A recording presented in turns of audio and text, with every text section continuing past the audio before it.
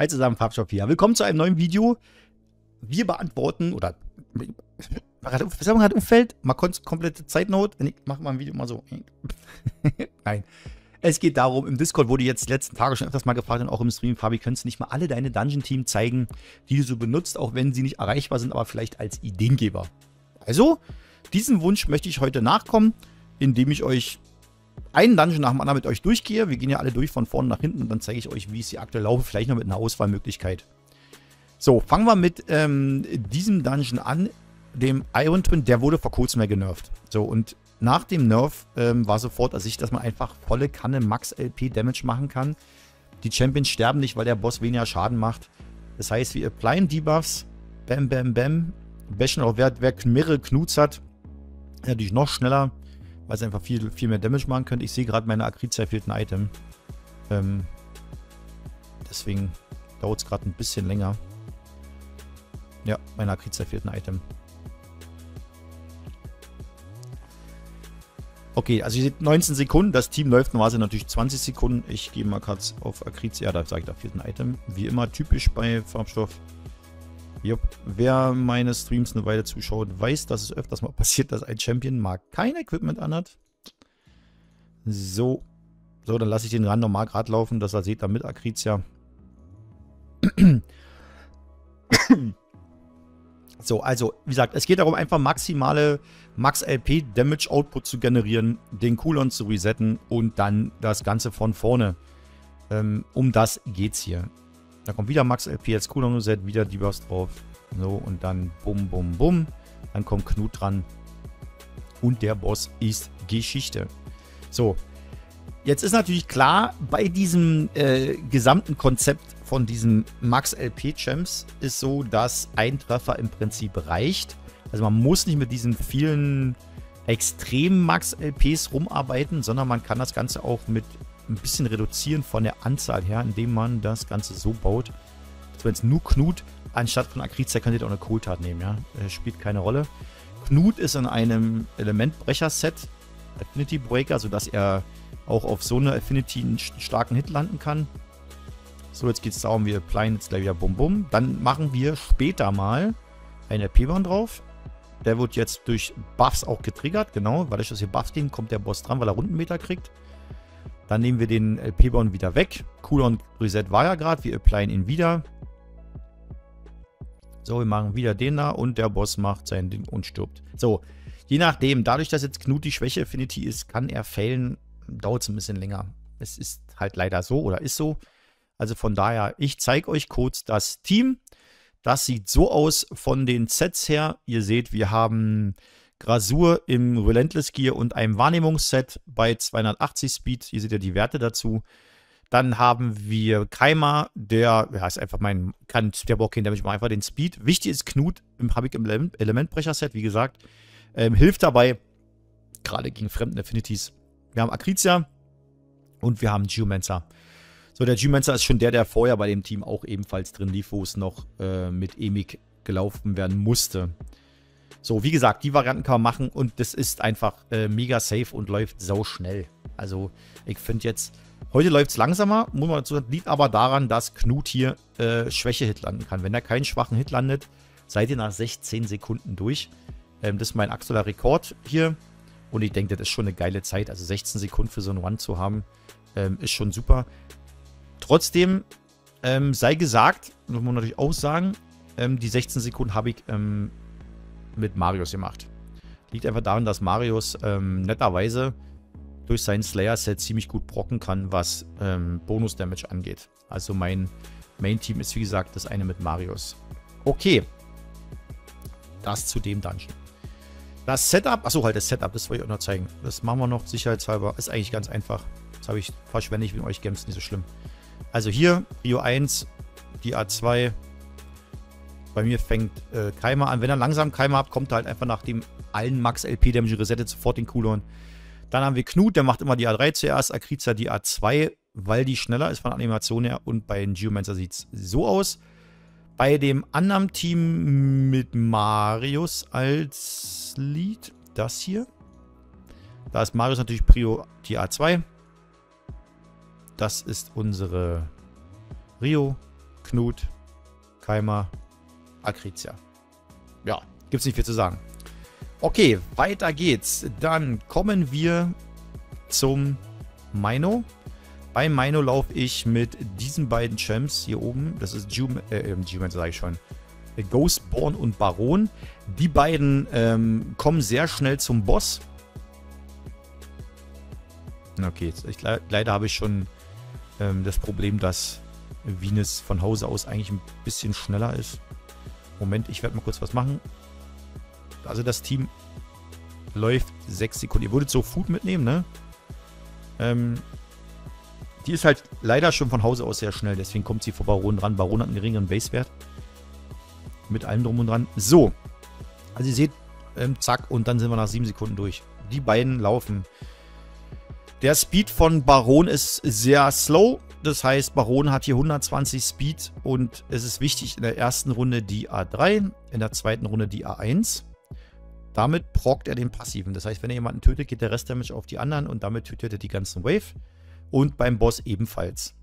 Ghostborn ist jetzt wichtig, der macht zuerst die A2, damit die erste Runde schon ein bisschen angehauen ist. Bei der zweiten Runde macht er die A1, damit trifft er einen Ad, den ebenfalls Baron angreift, der dann damit die ganze Wave dann cleart. Und beim Boss soll er die A3 machen, damit wir einen Angriffssteiger haben, um den Boss nochmal richtig ins Auszuwischen. Dadurch sieht das dann, also erste Runde A2 Ghostborn, bumm, dadurch reicht der Damage, um hier alles kaputt zu hauen. Dann macht er die A1, den Defense, und den greift jetzt Baron ebenfalls an und, bupp, bupp, und verteilt den Damage. Und hier den und dann zack, Boss ist Geschichte. Und damit könnt ihr sehr, sehr schnell diesen Dungeon farmen. Das heißt, ihr werdet so ungefähr in 20 Minuten maximal ein Champion komplett auf äh, Masterpiece hochziehen und braucht dann nicht die teuren 800 Gems ausgeben. Ja. Okay, dann machen wir mal Venus wieder rein, weil das ist diejenige, die hier nächstes Mal mitlaufen sollte. So. Oh, da wollte ich sie haben. Ist das noch... Äh, so. Ja. So lassen wir das. Okay. Dann gehen wir weiter zum Eisgolem. Beim Eisgolem laufe ich Hard-Mode mit meinem, ja, im Prinzip Standard-Team. Ich zeige euch mal eine Variante, die funktionieren würde, wenn Knut äh, alles fokussen würde. Wo ist denn mein Team jetzt mit Knut? Habe ich das gar nicht mehr drin? Ah, schade. Da ist es so, dass Knut den Boss einfach totbäscht. Das ist ein Unkillable-Team. Doch, da unten ist es doch. So. Ich zeige euch mal, wie das aussehen würde, wenn wir den Boss automatisch fokussen könnten. Wäre das super. Leider geht es nicht, aber als reine Showcase zeige ich euch das jetzt wie das aussehen würde. So, jetzt wollen wir den Boss fokussen. Ein Kittelbild drauf. Knut basht den Boss. Der Boss haut zurück. Natürlich uns die ganzen LP weg, ist ja klar. Nicht weiter relevant. Cooldown Reset. So, neu ein Killbild drauf. Bum, bum, bum. Wieder drei Hits.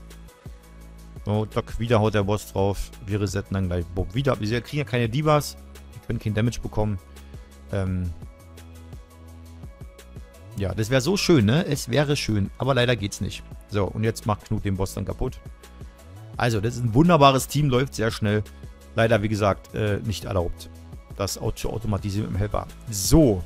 Das heißt, wir laufen mit dem Team. Das ist das klassische Team. Wir bashen uns mit den ganzen Champions hier durch die, durch die einzelnen Waves und ähm, Artak macht dann den Boss alleine mit seinem LP-Burn. Das heißt, kommt ein Angriff, Angriff, Rundenmeter und Buff geben vom Apotheker, Defense Decrease und Schwäche drauf und jetzt wusch mit Zia. So, jetzt das Ganze wieder. Artak macht einfach A1, Cooldown Reset, Apotheker, wir machen A3 und Zia macht den Nuke so, achso, ich hätte ja Auto drücken können. Äh, egal. So, jetzt sind wir beim Boss. Und jetzt geht es darum, dass wir mit Sia keinen A3 mehr machen, ja, sondern Artak soll einfach mit seinem LP-Bon den Boss töten. Am besten ist es, die eure Verbündeten sterben, so schnell es geht. Warum? Jeder Verbündete, der am Leben bleibt, kostet euch Zeit. Also Zeit, wie der Dungeon läuft. Weil die Animationszeit kostet ebenfalls Zeit von einem Champ. Und es euch bringt ein anderer Champ nichts. Also wenn Artak das hier alleine macht, ist er schneller weil er macht seine Animation durch. LP-Bond tickt relativ schnell. Das ist keine große Animationszeit. Und ihr seht, wie wir den Boss dann Stück für Stück damit runterhauen. Es ist natürlich blöd, das ist echt so. Trotz den hohen Widerstand können wir die Debuffs bekommen. Ähm also, es geht in diesem Team darum,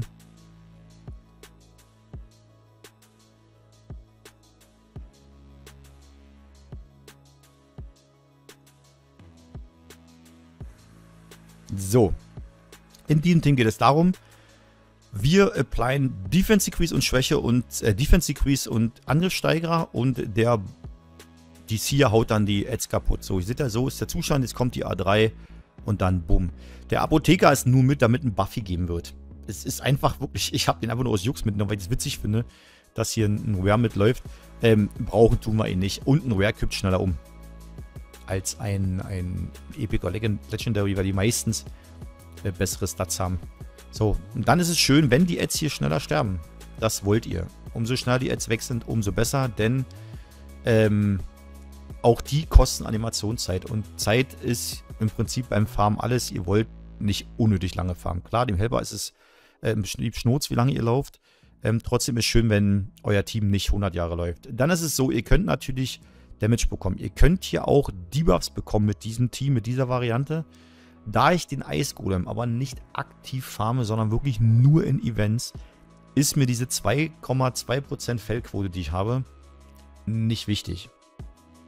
Denn äh, wenn es wirklich hart auf hart kommt und wie effizient wichtig ist, da gibt es ein getrenntes Video zu, da zeige ich euch dann, wie ich die Dungeon farme, wenn es um Effizienz geht. Äh, sieht das nicht ein bisschen anders aus, sieht jetzt so. Da kann man, das kann man auch noch schneller machen. Ähm, ist mir jetzt irrelevant. Geht bloß darum, dass es läuft. Das ist dieses Team. Das Setup ist relativ simpel.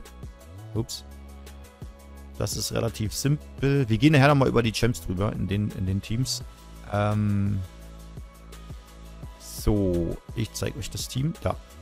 Also, Sia in der ersten Wave A3, in der zweiten, oh, das ist falsch so. In der zweiten Wave die A, äh, A3 und beim Boss die A3 ausschalten. Weil das könnte, könnte ihr mit dem Hit auslösen, wäre schlecht. Einmal nur die A1, in der zweiten Runde die A3 dann. Als erstes könnt ihr ruhig machen, der macht er sowieso. Und dann beim Boss auch die A2 ausschalten. Dann haben wir bei A-Tag offen. In der ersten, da ein Cooldown Reset kommt, ist es egal, was er in der ersten Wave macht. In der zweiten sperren wir die A2 und A3 und beim Boss fangen wir mit der A2 an. Damit wir nicht zu viel Damage bekommen gleich. Ihr könntet aber auch mit LP mal anfangen, spielt keine Rolle. Ja. So, dann haben wir die A3 A3 und beim Boss egal. Also Ghostborn ganz klassisch. Apotheker A3, A3 und dann nur die A1 machen. Er soll die A2 nicht benutzen, er soll keinen heilen, weil sonst heilt er die immer eine hier oder so und die wollen wir nicht heilen, die sollen so schnell wie möglich sterben. Denn wie gesagt, beim Boss brauchen wir, wollen wir jetzt nicht Zeit verlieren. So. Hier spiele ich ähm, das Team, das dient dazu, schnell diesen äh, Dungeon zu schaffen. Das heißt, wir plyen LP Burn, wir lösen den aus und applyen Defense Decrease und Schwäche. Dann kommt, ja, schade, es hat es nicht erreicht. Mal drei Turns ist, ähm, geht es, je nachdem. Also das Team kann drei Turns laufen, wenn Marius ähm, mit seinem Slayer-Set gut prockt. Das heißt, wenn er Bonus-Damage triggert, killt er den Boss alleine oder wenn wir Schnitter drauf hätten. Dann würde der den in drei Turns den Boss zerlegen. Ähm, leider habe ich keinen Schnitter auf ihn drauf und somit äh, muss Akriza nochmal nachzücken. Ja, das Lied läuft vier, vier Turns, seht ihr? Relativ einfach. Ähm, das Setup. Dieses blöde Fenster, ich kann dir sagen, wie ich das hasse da oben. Ungünstiger kann man das nicht programmieren. So, das Setup. Warum läuft äh, Pushar mit? Speed Aura. Also alles. Also Akricia einfach offen lassen. Sie macht sowieso die A2 als erstes. Könnt ihr noch angeben, gebt es euch noch an hat 240 Speed. Wir haben Marius mit 260 Speed. Der nutzt den hier. Als erstes die A2. Wir haben Ignatius für die A3. Das ist ein LP-Born, der garantiert ist. Ihr könnt auch mit Dwayne rein. Also Dwayne hat auch einen LP-Born, der nicht resistet werden kann. Geht auch. Und wir haben Sisja, die mit der A2 den LP-Born auslöst und Defense Decrease und Schwäche applied. Auch wenn da welche fällen durch Marius die A2, ähm, klappt das. Und dann sieht das Ganze so aus, dass wir hier sehr, sehr schnell durchkommen. Bei uns donnert hier gerade, Leute, wie verrückt. Voll Unwetter. Bum, bum, bum, bum. So. So, zack, zack. Und wunderbar. Okay. Da ist behaltbar. Okay, das jetzt zum, zur Spinne. Kommen wir zum Drachen. Beim Drachen laufe ich ebenfalls mit Marius. Hier habe ich jetzt Taras mal getestet, anstatt Zia. Ähm, hat noch nicht so gut funktioniert. Also in den Waves kommt nichts an, an, an Zia ran. Also, äh, ja, let's go. Warum seht ihr immer dieselben Champs? Das sagt, oh, ist immer dasselbe. Immer Knut, immer Rio, immer... Ganz einfach. Ich bin Freund davon, ähm, Dungeon mit so wenig verschiedenen Champs wie möglich zu laufen. Dann spare ich mir Equipment. So brauche ich dann drei, vier Champs Equipment an Damage Dealer maximal. Und das hat sich. Und Rio benutze ich dann beim Twin Boss, beim Drachen, beim Sandteufel, beim äh, Phantom Shogun. Ja, überall wird dann Rio benutzt. Und überall wird Knut benutzt und überall wird ähm, mein Champion Marius benutzt. Das spart mir am Ende Equipment und ich kann mich dann mit bei manchen Equipment einfach auf bestimmte Sets ähm, ähm, konzentrieren oder bestimmte Champs, um die woanders für zu equippen. Also, das ist das Drachenteam. Waves, Sia, Boss, Knut und Marius. Ihr seht Marius auch mit Knut zusammen wieder super Damage und Sia für die Waves die 3 Millionen. So, als Setup. Rio in der ersten Wave die A3, in der zweiten Wave die A3 und beim Boss die A2 zuerst. Yumeko hat nur die A1, nur die A3, denn wir wollen beim Boss den Hexeplein. Dann passiert folgendes, der Boss greift es an und das Gift wird reflected. Wenn der Boss Gift hat, sieht er ja hier, ne? Wann immer ein, ähm, nee, warte mal, das war bei dem Hex hier drauf, Entschuldigung. Da seht ihr, wann immer ein Gegner versucht, Debuffs auf diesen Champion oder einen Verbündeten zu applyen, hat man 30% Chance, diese Debuffs zurückzuwerfen. Bei den Anzahl von Giften, die er applyen will, gehen auf jeden Fall welche zurück. Und damit haben wir Gifte auf dem Boss. Dann haben wir Knut mit der A3. Logischerweise bei den anderen, bei den beiden Waves benutzt er die A2 zuerst und wir sperren die A3 in der Wave 2, denn wir brauchen die beim Boss. Marius einfach A2 und Buffs geben für Sia. In der zweiten Wave machen wir nur den A3 und A1 und beim Boss dann genau andersrum. Wir wollen den hier zuerst haben. Sia in den Waves, A3, A3 und beim Boss wieder sperren. Also, damit läuft das Team dann auch knapp über 30 Sekunden. So, kommen wir zum Fire Knight. Mal direkt was getestet. Beim Fire Night laufe ich, gibt es auch ein Video für, ne? Äh, für die ganzen Teams, die wir laufen, gibt es immer. Das muss ich suchen. Wo, ah, hier, da ist es. Jetzt gucken wir mal auf Rasselwag, alle, ob alle equipped sind. Nicht, dass wieder irgendwo Equipment fehlt. Sieht gut aus. Okay.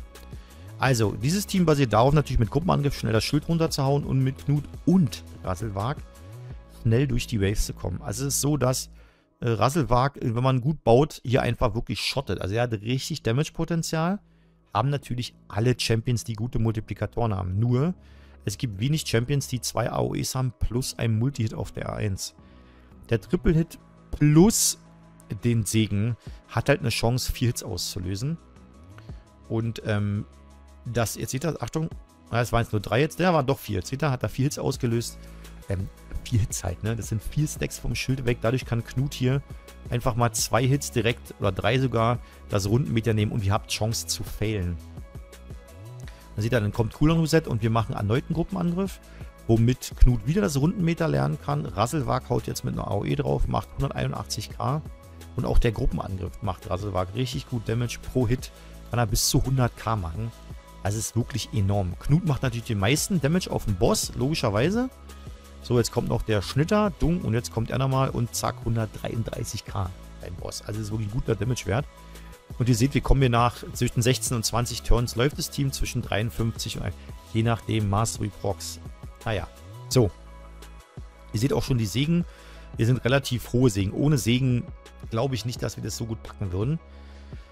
Dann haben wir von den Wert, da gibt es aber ein Video extra für, ne? So, wir sind Runde 1, Padraik, alles sperren. Runde 2, den Speed geben wir. Runde 3 auf jeden Fall den Gruppenangriff als erstes. Rasselwag in der ersten Runde, um den Damage zu steigern und den Skill schnell wieder ready zu haben. Die A3. Dann machen wir da auch die A3 oder die A2, je nachdem. Und beim Boss fangen wir mit der A1 an, aber Prio hat dann der hier. Durch den Speed Increase, den er sich selber gibt, kriegen wir noch mehr äh, Speed, somit mehr Damage. Chadiel A1, A1 und beim Boss den Gruppenangriff. Wir haben Keimer, alles sperren, bis auf den Boss dann die A3 zuerst. Und bei Knut, der soll in den Waves die A2 machen. Und beim Boss die A3. Das ist eigentlich alles. Und dann plus die Segen. Den Speed habt ihr ja gerade gesehen, die nehmen dran. Ähm, 318, 248 vom Rassel, Zadiel 359, Keimer 243 und Knut 267. Inklusive den äh, Dungeon-Auren oder die Dungeon-Stats, die es gibt durch die Arena-Bonus. So, kommen wir zum Sandteufel. Das ist mein Sandteufel. Ich sehe auch wieder, wieder die, bis auf Siffy. Siffy könntet ihr gegen jeden äh, Champion austauschen, der Sleep applied. Also es muss keine Siffy sein. Siffy hat den großen Vorteil, dass der nicht resisted werden kann. Deswegen ist ja 100%. Ihr könntet aber jeden nehmen, der irgendwie in der, in der Richtung diesen Debuff applied. So, dann kommen die Debuffs drauf. Marius, bum, bum, bum. Dann kommt Knut, bum, bum, bum. So. Dann kommt Cooldown Reset, Jinga. Wir kommen ein Hit wieder und dann kommt Marius dran. Und meistens ist er jetzt schon Geschichte. Ja, seht ihr. Geschichte 13, 13 Sekunden, 10 Turns. Wenn jetzt Marius da fehlen sollte oder ein Debuff nicht sitzt, äh, macht Knut das Ding fertig. Das Schöne ist, dass das Team jetzt, äh, ich würde sagen, 90,999% läuft. Ähm, das ist das Gute. Das, vorher war es nicht so. Der Boss hatte mehr Defense. Wenn dann Debuff fehlte von Rio, dann konnten Knut oder Marius definitiv nicht schaffen. So schon. Also, ja, wie gesagt, das Team läuft sehr schnell. Wir machen zuerst den Sleep, wir machen dann die Debuffs von Rio, dann natürlich die Max LP Skills von Marius und Knut. Und ihr seht schon, wie weit er jetzt runter ist. Gedroppt ist der Boss. Also es geht auch in, äh, in sechs Turns. Wenn Marius gut seine Dinger prockt, geht es auch schneller. Also es steht und fällt immer von der Geschwindigkeit mit den Marius-Procs. So, die Stats, mal gucken. Äh, also Marius auf jeden Fall Prio A, äh, die 2. Knut die A3. Rio macht zuerst die A2 und dann soll er die A1 machen, weil deswegen Zeitsparnis. Logischerweise Keimer als der Langsame. Hier aufpassen, der hat nur 231 Speed. Äh, Dings und dann Siffy. Die 421 ist völlig übertrieben. Also es reichen 350, glaube ich. Ähm, also so viel muss es nicht sein. Das ist einfach nur meine, meine Siffy für die Arena.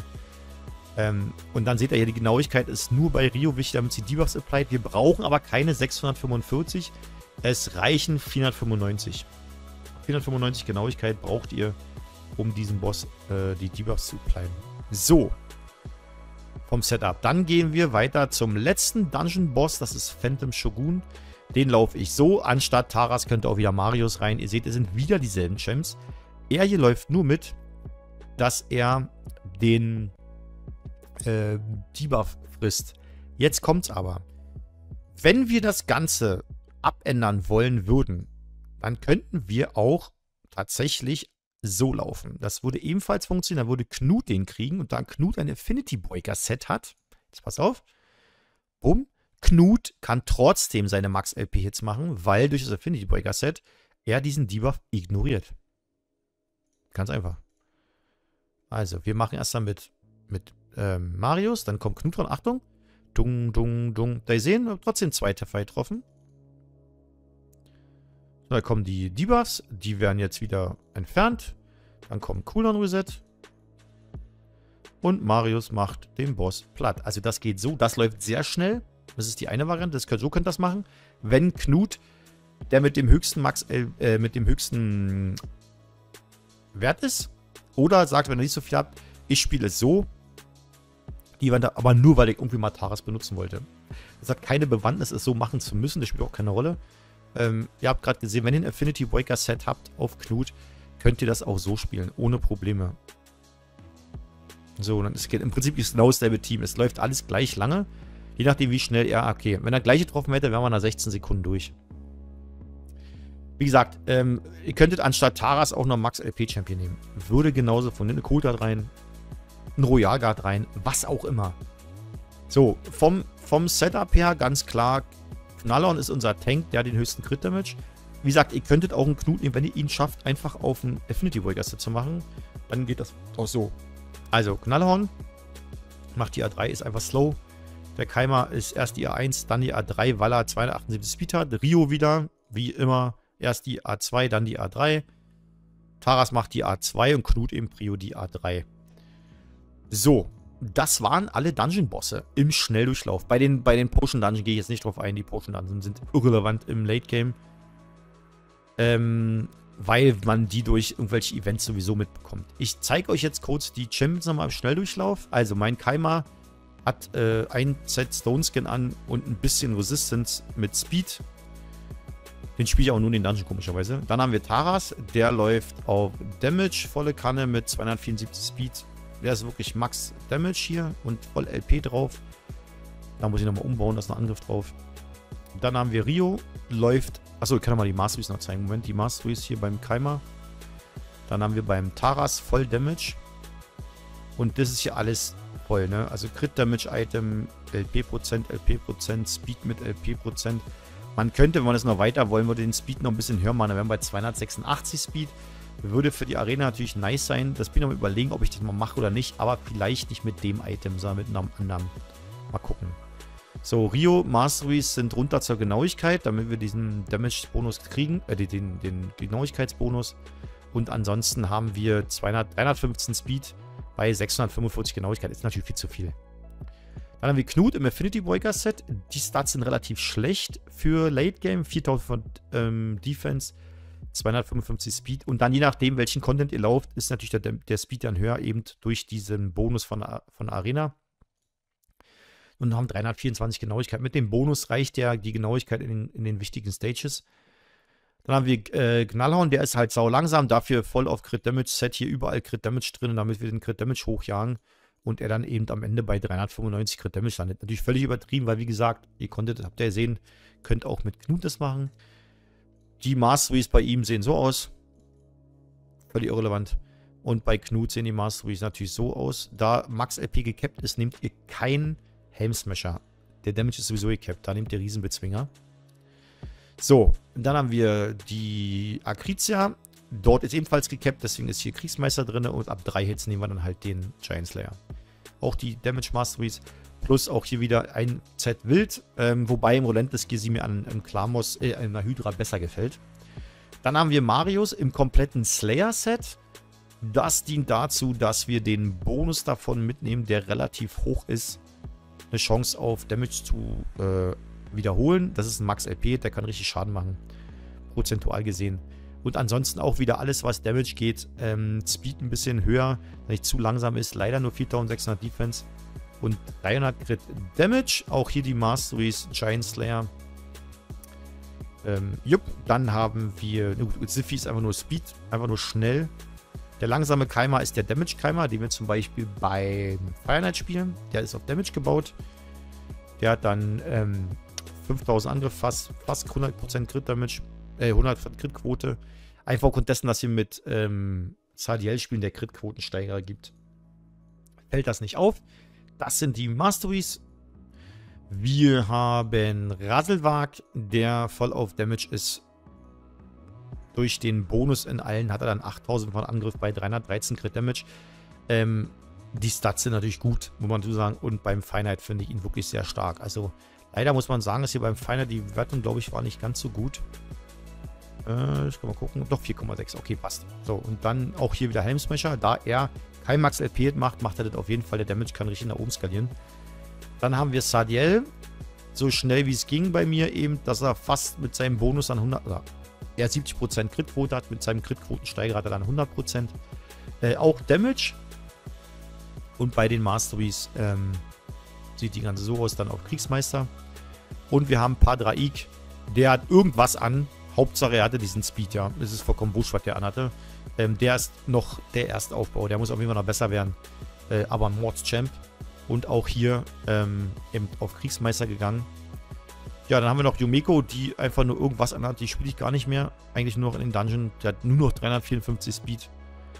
Und wir haben Sia voll auf Damage den Ring weggenommen, damit sie schneller stirbt bei Bossen. Hier geht es darum, den Crit-Damage hochzutreiben im Wildset. Das ist eigentlich das Entscheidende. Bei den Masteries habe ich auch Crit-Damage drin, damit die, jeder, jeder One gleich ist. So, da haben wir noch, ähm, jo, er läuft nur mit, wie gesagt, er macht nichts, ist nur der Geschwindigkeit. Einfach nackt reinstellen, das reicht schon bei der Spinne. Dann haben wir Sisja, auch irgendwas drin, irgendwelche Sets. Hauptsache, sie ist schnell und Genauigkeit für die LP-Bahn auslösen und so weiter. Genauso wie bei ihm. Ignatius, der muss der schnellste sein von allen einfach fast 300 Speed bei 306 Genauigkeit. Go-Spawn ist auf Damage gebaut, hat leider keine 100% Crit-Quote, spielt aber auch keine Rolle, ähm, da ich ihn nur in zwei Dungeons benutze. Einmal für die Waves zum Debuff, dann macht hier den Damage und einmal beim Minotaurus-Bonus, äh, Minotaurin, da wo die Schriftrollen farmen, dort macht Baronin Damage. Also ist das einfach ein bisschen zusammengewürfelt. Dann haben wir Artak im Regeneration Set bei 300 Speed, 541 Resistance und 366 Genauigkeit. Bei 300 Speed plus den Segen Emergency Heal ist wichtig. Da kriegt dann Schild, dadurch nochmal einen Bonus Heal, hat es dann leichter. Und ihr solltet LP und Defense gut aufteilen, dass eine gute Mischung aus beiden entsteht. Bei den Masteries geht es runter zum Widerstand. Wenn ihr Widerstand schon hoch habt, geht ihr runter auf Genauigkeit. Je nachdem, wie ihr wollt. Ihr könntet das Schild könntet ihr ein bisschen erhöhen, wenn ihr wollt, hier um 5%. Könnt ihr euch überlegen. So, Apotheker, äh, der ist irrelevant, hat 247 Speed, schon eh und je, seit Anfang an. Das ist mein Equipment, weil ich kann, wie Jahre ich das schon drauf habe. Und dann haben wir noch Geomancer, der läuft äh, 284 Speed, hat komplett Genauigkeit und 576 Speed. So. Das war's. Die große Halle kann, die Affinity-Bonus-Halle ist komplett ausgebaut und der Area-Bonus sieht so aus. Beim Fire Knight und ansonsten beim Sun-Teufel auch noch ein bisschen Ignore Defense. Das war's. Also Leute, ich hoffe, dass euch das Video gefallen hat. Es war jetzt lange, 32 Minuten gleich. Ich hoffe, dass das äh, das ist, was ihr sehen wolltet. Und sehen wir uns im nächsten Video oder im Stream. Bis dann. Ciao, ciao.